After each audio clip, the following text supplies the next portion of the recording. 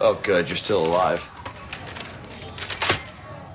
What are you doing? Well, this might sound a little crazy, but uh, I never turned in this English paper, and it cost me an A in your class. So, I'm sorry, in case you hadn't noticed, now is not a good time. uh, look, Mrs. Colavita, I've never got an A on a report card that wasn't PE, ever. If I could do this, it could be a turning point in my life. So if you could just sign a form or something saying I turned the paper in, I can. Not so fast. In order for me to give you an A in the class, you need to get an A on this paper. Now, you handed it in six years late, so I should probably deduct a point a year seems fair, so you're down to 94. Missed comma, 93. Incomplete sentence, 92. No paragraph indent. You misspelled there. Axl, you're in high school now.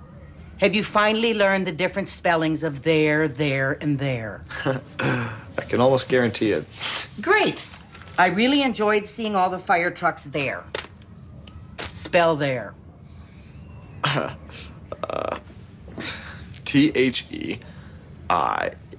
E- No, that's not right.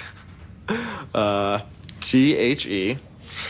Why am I saying that when I know it's wrong? Is it one of those silent letters like in Psycho? Uh, P T H E.